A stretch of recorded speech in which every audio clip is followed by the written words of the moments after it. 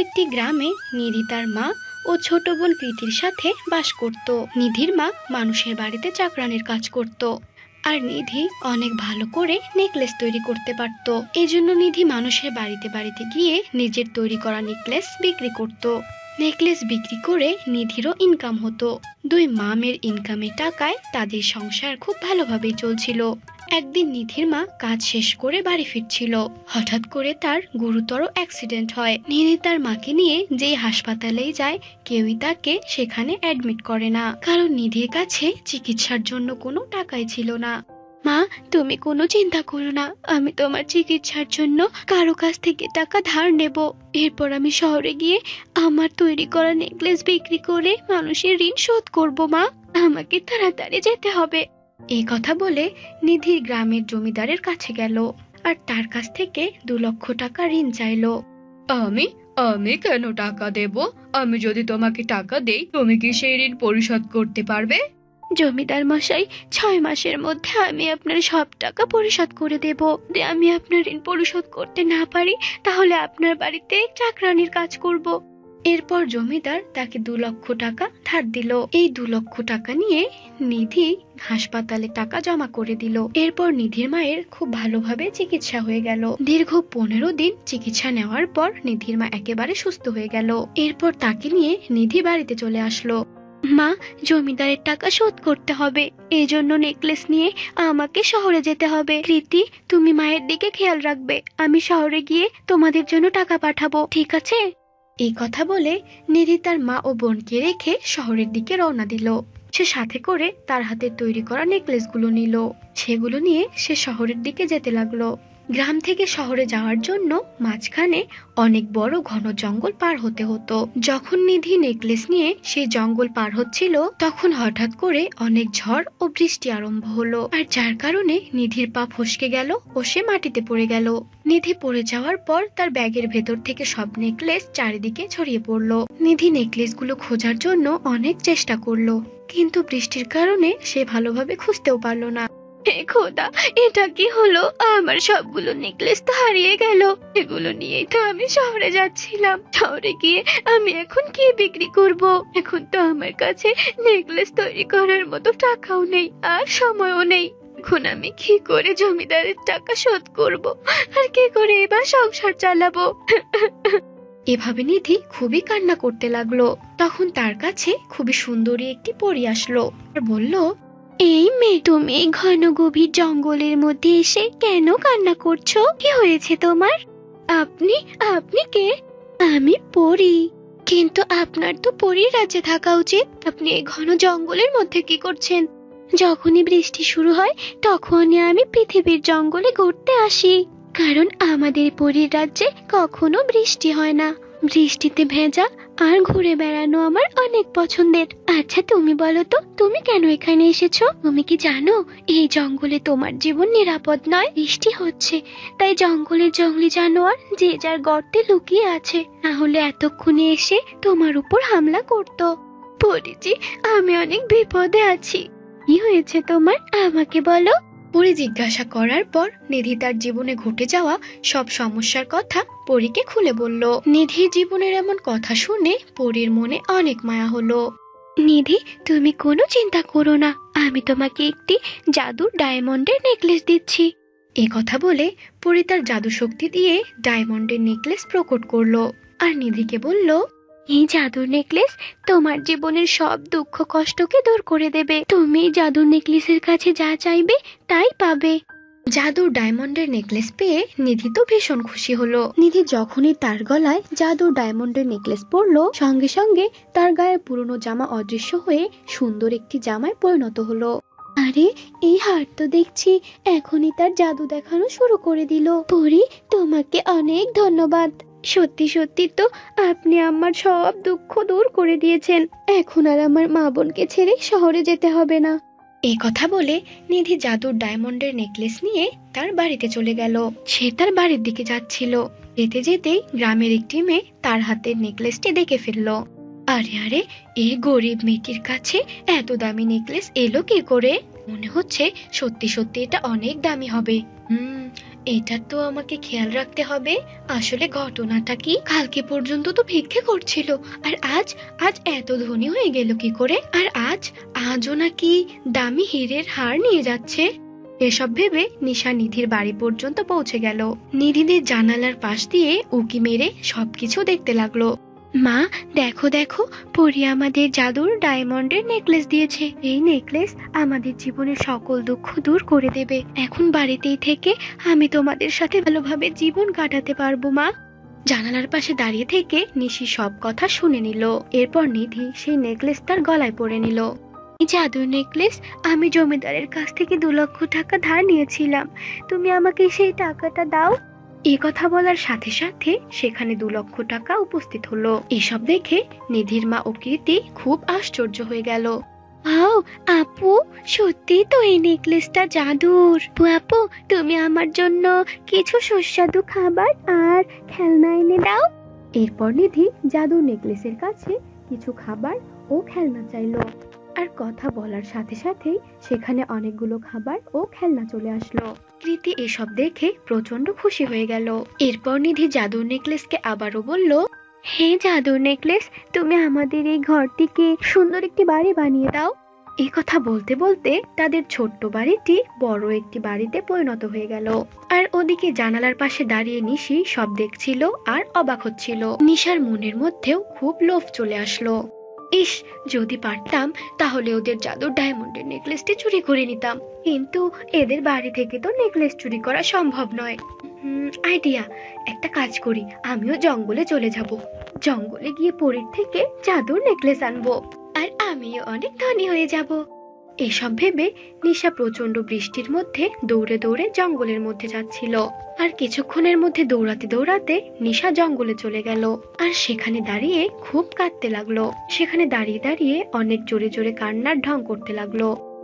খোদা, এখন আমি কি করব? আমার যে সবকিছু শেষ হয়ে গেল। কেউ তো আমাকে সাহায্য করো।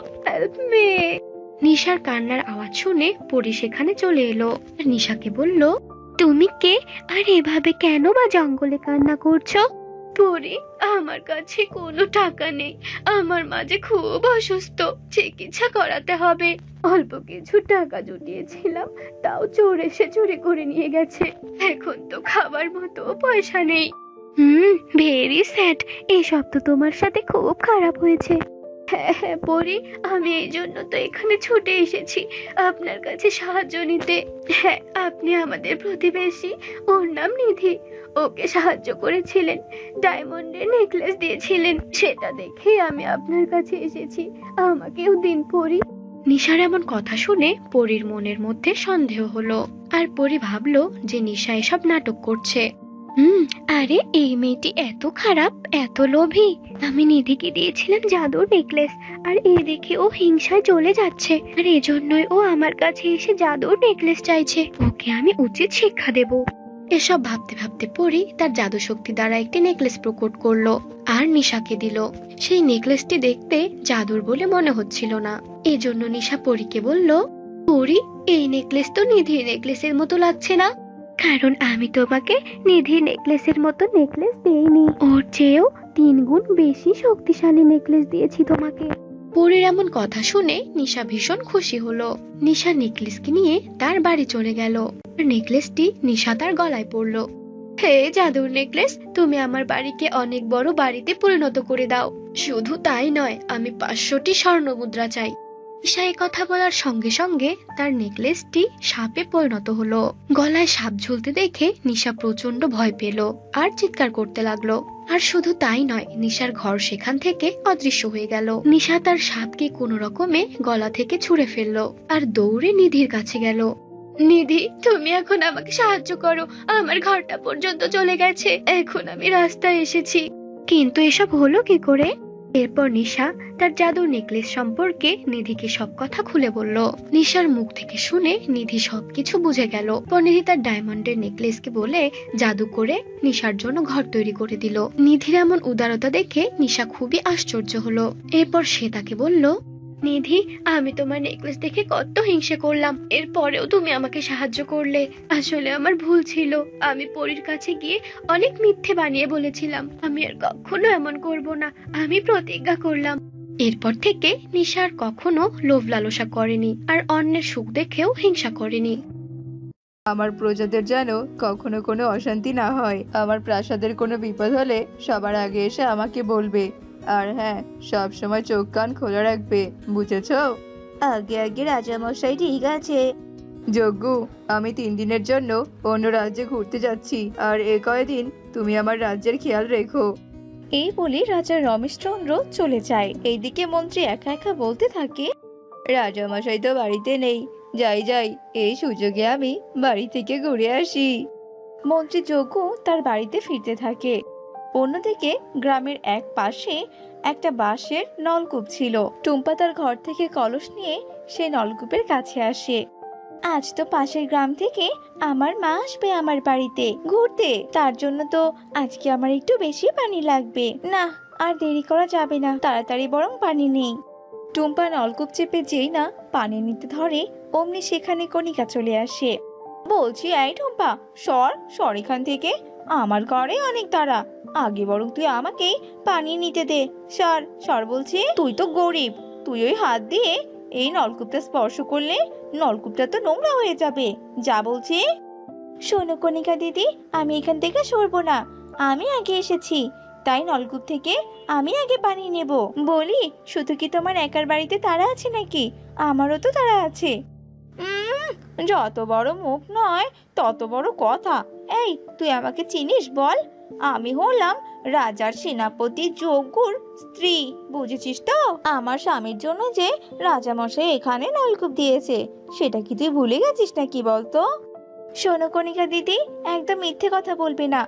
রাজা তোমার স্বামীর জন্য এখানে নলকূপ দেয়নি। রাজা নলকূপ দিয়েছে গরিব, অসহায় লোকেদের পানির সমস্যা দূর করার জন্য, বুঝেছ তো? ঠিক তখনই সেখানে যজ্ঞ আসে।